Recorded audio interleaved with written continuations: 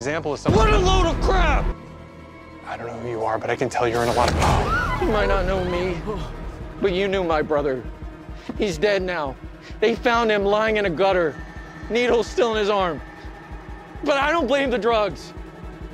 I blame you, among others. And I'm gonna make you all pay.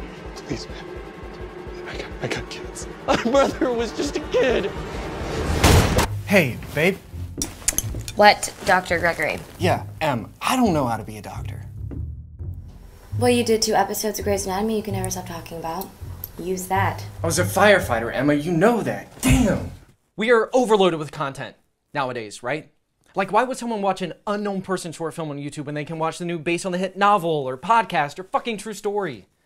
We live in a world of adaptations, reboots, and spin offs.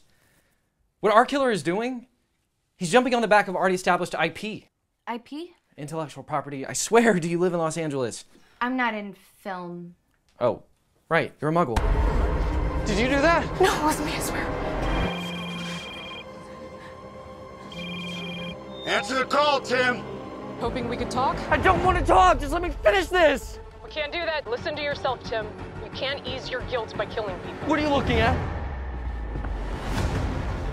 Abort, abort. He's headed back your way. Get out of there. Don't come any closer, or everyone on this bus is gonna die thanks to you. Wait, Tim, please. There's nothing you can say that I want to hear. Would you listen to Adrian then?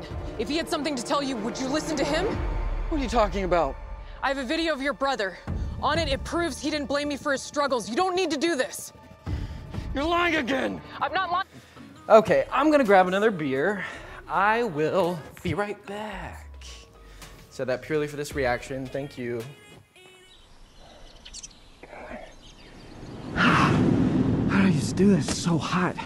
Okay, if, and I'm only saying if, I let you go, you won't report this, right? You'll forget all about this. I promise. I promise. Please, please just let me go.